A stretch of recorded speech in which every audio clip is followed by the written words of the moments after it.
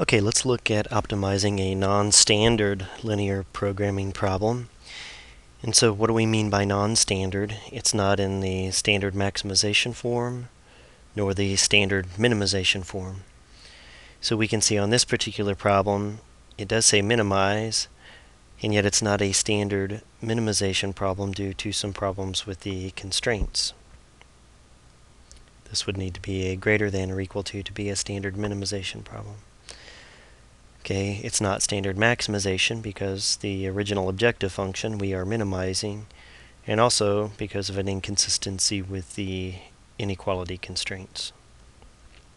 So to approach the non-standard problems, one thing we can do is instead of minimizing w equals 3y sub 1 plus 2y sub 2 plus 3y sub 3, we can maximize its opposite.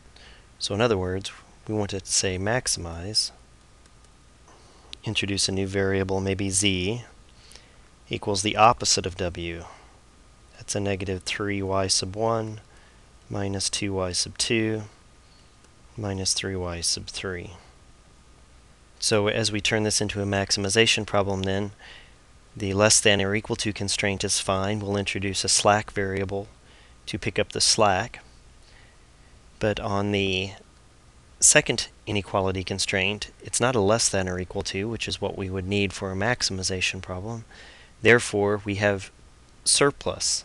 So we'll introduce a different surplus variable. We'll see how to do that in a minute.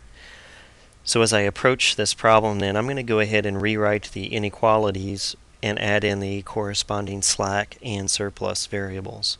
The first linear inequality constraint gives us 2y sub 1 plus 3y sub 2 plus 6y sub 3 plus our slack variable s sub 1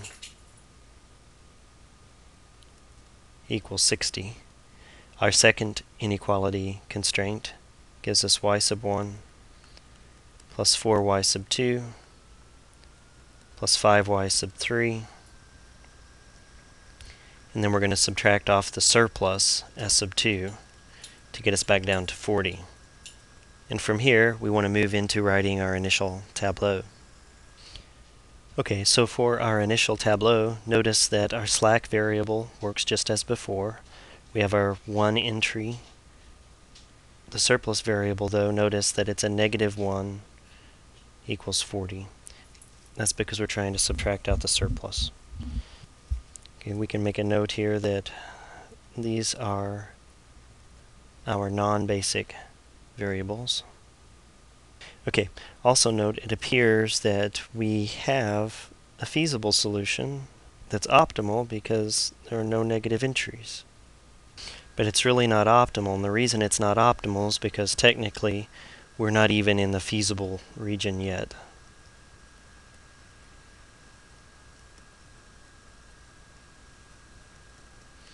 And the reason we know that is because based on our simplex algorithm, we know we hit an optimal solution when we have our variables and our slack and surplus variables are non-negative. And if we were to pull out the basic solution at this point, we can see y sub 1 is 0, y sub 2 is 0, y sub 3 is 0,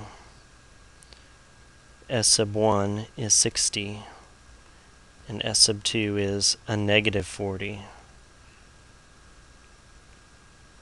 So again, that needed to be positive or 0. Okay, so what makes this different than the standard maximization or standard minimization problem is that in our initial tableau, we're not in the feasible region yet.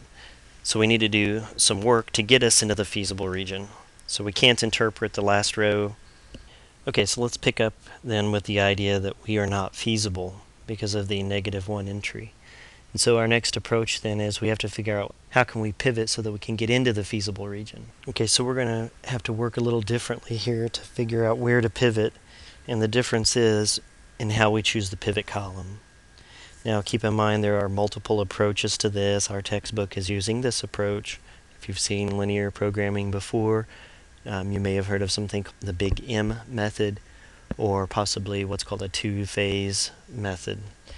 Um, I'm going to be using the approach that our book takes, which again is to identify the, the row that causes the problem. In this case, it's the negative 1 and the 40. And I'm going to look in this row and find the first or the positive entry that's the furthest to the left and make that our pivot column.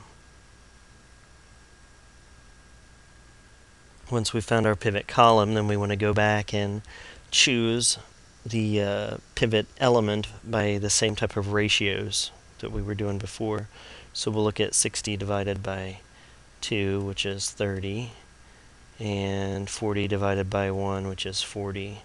And so the smallest non-negative ratio there is the 30, therefore we're going to choose the 2 to pivot on. Okay, so to pivot in that first row, first element, we would need to take a half row 1 and store that in row 1 and then take a negative 1 row 1, add it to row 2, stored in row 2, negative 3 row 1 plus row 3, stored in row 3. Here are the corresponding uh, functions that we can use on our TI-84 plus calculator. And if we do that, we'll get this resulting tableau. And now, again, now that we know that the idea of how to determine if a if a tableau is giving us a feasible region or not, we can see that S sub 2 equals a negative 10. Therefore, we're really still not in the feasible region yet, so we can't go back to our normal pivoting. Again, we would see that that negative 10, S sub 2 is negative 10, is caused by the second row. So if we look to the second row then, we want to find the positive entry that's farthest to the left, and that's going to give us our pivot column. So it appears our pivot column is right here. Now to determine the pivot element, we want to go back to our ratios. 30 divided by 3 halves is the same thing as 30 times 2 thirds, which is 20. And 10 divided by 5 halves is the same thing as 10 times 2 fifths, which is 4. And so our pivot element appears to be at the 5 halves. So let's come up with the appropriate row operations and then pivot one more time and see what happens. Okay, so these are the row operations then that need to be performed on the tableau. 2 fifths row 2 stored into row 2. Negative 3 halves row 2 plus row 1 stored into row 1. And 5 halves row 2 plus row 3 stored into row 3. And here are their corresponding functions on the TI-84. So let's look at the tableau we get after that pivot. So again, after each pivot operation, when we're not in the feasible region, we want to stop and look and see did we finally make it into the feasible region. So here, if we pull out the basic solution, we can see y sub 1 is 24, y sub 2 is 4, y sub 3 is non-basic, so it is 0. S sub 1 and S sub 2 are non-basic, so their values are 0. And we can finally see that there are no negative values, therefore we're finally in the feasible region. The problem is we're still not optimal. The reason we know we're not optimal now is because we are at least feasible and we have negative entries in the last row. We have not yet arrived at the optimal solution. That means we need to go back and choose our pivot column and pivot element as we did back in the beginning of the chapter. So remember the pivot column is chosen by finding the most negative number in the last row and then the pivot element is chosen by looking at the ratios. It's 24 divided by 9 fifths, which is the same thing as 24 times 5 ninths. And then likewise 4 divided by 4 fifths, which is 4 times 5 fourths. 4 times 5 fourths gives us 5, and 24 times 5 ninths 40 thirds. Just 13 and one third. So picking the smallest positive ratio tells us to pivot on the 4 fifths.